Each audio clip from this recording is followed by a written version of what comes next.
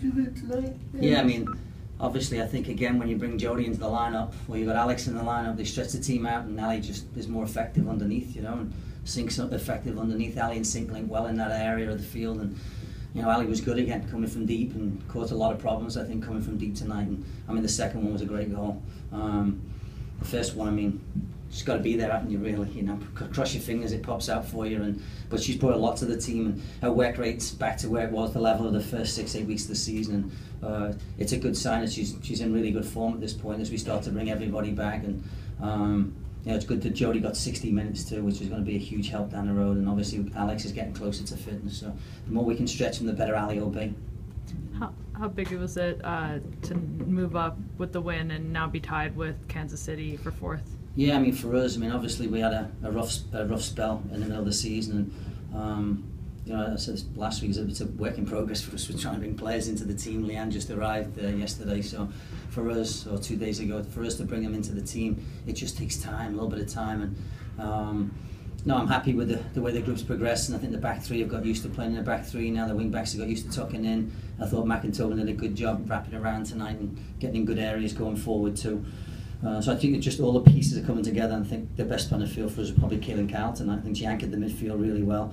Um, uh, ably supported by Sinead. I think she did a good job, and obviously Ali uh, provided the goals for us. But I think the work rates, the work rate is good. We made it difficult for Chicago. They're a good side, man. They got a lot of speed up front, and you know they got they went with the front three. They've been playing in the diamond. We had a feeling they would go three up front, and they spread us out and uh, I thought the back three equipped themselves really well. Emily had a, you know, Claire's getting better by the game. Emily and Kat have uh, been very consistent so far in the season. So overall, good display against a very good side, and they've only lost one game all season. They're, they're going to be tough, and uh, that's why they're in the place they are in the league. The league doesn't lie. So. You mentioned Kaylyn Kyle. Can you speak a little bit more as to what her influence is as either a stability role in the defense or just the kind of confidence she gives not just the midfield but also the yeah I think if you ask anyone on the team what, what's Kaylyn Kyle's strength the strength is she always wants the ball. She makes great runs. She's always open. If you look at the game tape she's always in good area of the field always wants the ball.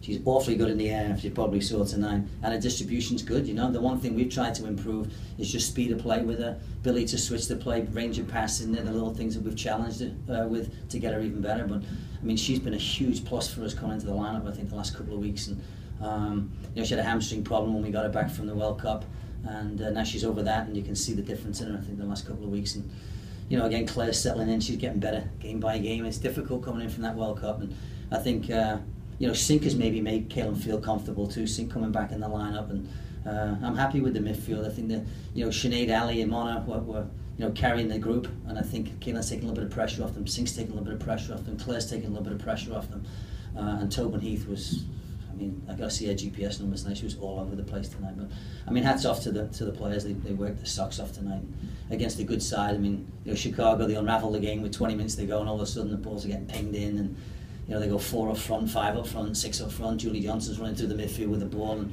I mean, Julie Johnston's unbelievable tonight. Christen Press is a handful. Uh, Tank was a handful. Tank Grady, and she's got a lot of good players. But I thought we handled them pretty well considering the amount of pace they've got up front. You you guys will have to quickly turn around now uh, and face Kansas City. How important um, will it be to go in there now that you're tied with them for fourth place and have a good performance? Yeah, I mean, obviously it's consistency of performance that we've been looking for. We started to get a little bit more consistency throughout the groups, from, from the goalkeeper right through the front line. Um, Kansas is a good side. Obviously, I know a lot of the players well. A lot of them played for me before, and um, you know, they've, they've got all their World Cup players. They're integrating probably as much as Chicago is and as much as we are in terms of the most integration of the, anyone in the league. Um, you know, we haven't been so successful on the road, but you know, we go to Kansas in great spirits, with great confidence, and you know, we don't arrive till late tomorrow night in, in Kansas. But you know, I've told the group that you know, when you, it sometimes it's better to get the games one after the other. You're winning games, you feel like you can just go on the field, make a couple of changes, and we'll be fine. And I think that the conferences throughout the lineup, they feel like they they can get the job done now. And, I think we're uh, we're in a good we're in a good spot, and you know Kansas is not going to be an easy game by any stretch of the imagination. But you know, everyone's got tough games ahead of them. We've got four left. We're just worried about Kansas getting points in Kansas and getting home, and we've got ten days off after that. Can you talk about uh, Michelle Betos and you know, your decision to continue starting her even after the World Cup. What is it about the way she's playing? Yeah, I just think the team right now is comfortable with her, you know. And, you know, obviously against Seattle, we played, uh, Michelle played the home Seattle game, Nadine played the away Seattle game. Basically, told, two of them with them and whoever wins first is going to stay in the lineup. Michelle was the next up, she won the game, and uh, she's been here a little bit longer. I feel like she's a bit more comfortable with the back line. It's hard to keep swapping because they're very different, not very different, but they're definitely different. Uh, and the defence plays different when one's behind them, and they just seem comfortable right now. Nadine's been very professional. She's been great in training. In all honesty, when you watch them in training, like wow, they're just two of them are, are, are really top top goalkeepers. And I think it's just about comfortability. But um, you know, I think there's competition throughout the squad, and when there's competition, everybody's playing well. And now when you go to practice, it's a whole different world than it was a month and a half ago. And uh, you know, when you're chasing Tobin Heath and instead of chasing somebody else, it's not quite that level. It's a different game, and I think just everybody's on their toes. Practice yesterday was fantastic. Went for 35, 40 minutes, and I mean, you think they were playing for a World Cup, but that's how competitive it's got. And you know, I think Nadine and Michelle, they're, they're competitive players. Nadine's going to be professional and wait for opportunity, and you know, maybe it comes. Who knows? You know, could be on Wednesday. It depends on what happened Wednesday. It could be the next game, but she's got to stay around. You just never know what's going to happen. Do you think Jodie will be ready to go 90 on Wednesday? And can you actually give any, uh, shed any light on Cat?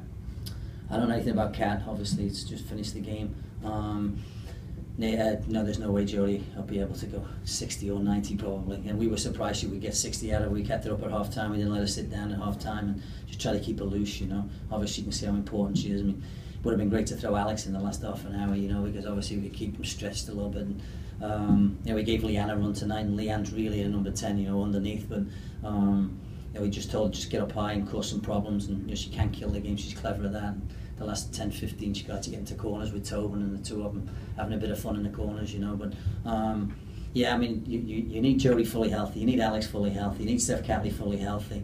Um, if you can just get those three fully healthy with the rest of the squad, I think we've got some depth in. And you know, we don't have a, a, a ton of options to change in Kansas, but there's going to be some sore bodies, I think, by the time we get to Kansas tomorrow night, and we'll evaluate. You know, they've got a pool session tomorrow. We'll evaluate Tuesday, and, and then go from there. What we're going to do. What's the timeline on uh, Alex and stuff? Uh, Alex is, well, I don't have a timeline on Alex, but I'm hoping pretty soon she's starting to train now. Um, she's not got into the competitive element of training, the progression there yet, but uh, we're happy with her. She's got a, she's been great in the locker room with us, and I had a half an hour chat with her this afternoon, and she's eager to get back on the field. And um, I, th- I think you'll see her, you know, a couple of games from now, but she'll she'll she'll play. She's And what about, play. what about Steph? Steph is probably a little bit further away, I think, than Alex. I think Alex might be closer than Steph, and I'm hoping to get them both back by Sky Blue. And if we could get before, it'd be even better, you know. Um, you know, we'd like to be at full strength now. It would be a huge help, obviously, with these games so close together. But it is what it is, and we've been juggling it all season. So another couple of games, I guess we'll just keep juggling, keep on moving from there.